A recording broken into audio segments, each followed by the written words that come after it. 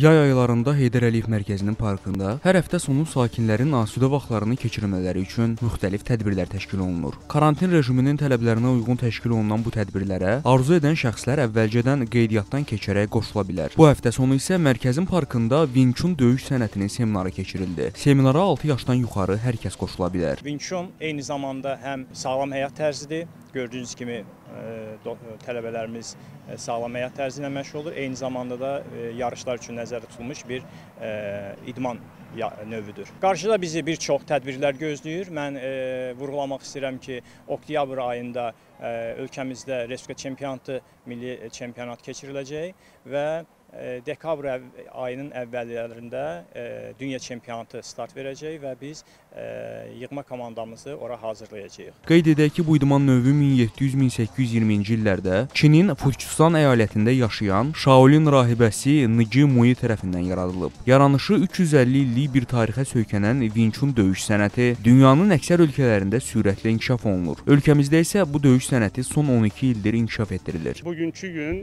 biz bir daha göstərmək istəyirik ki, Wing Chun bir həyat tərzidir.